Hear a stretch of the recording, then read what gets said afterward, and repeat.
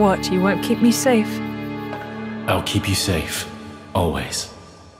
You still remember that?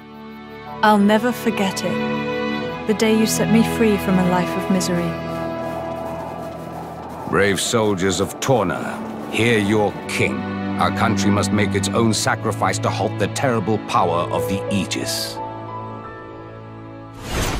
When we first met, we could have burnt you to pieces. As I am, I am not in full control of Mythra's power.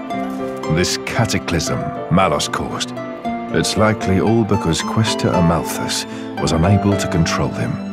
Malos, the all-knowing. A diligent student, you could say.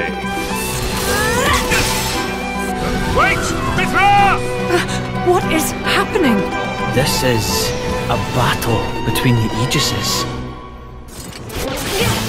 What's wrong? That all you got?